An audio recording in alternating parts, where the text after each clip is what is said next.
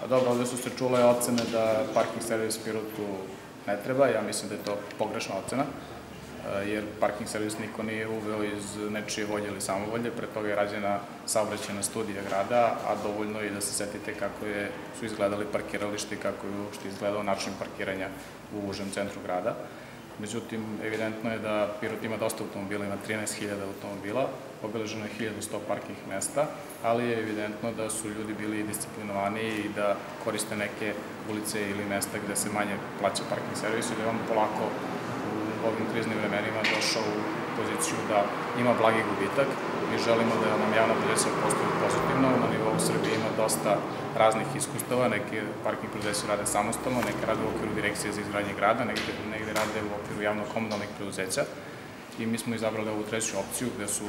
došle do nekih racionalizacija oko upravnih odbora, reprezentacije, ne znam, drugih knjigovodstva, na kraju su smanjena, broj radnih mesta je smanjen za tri,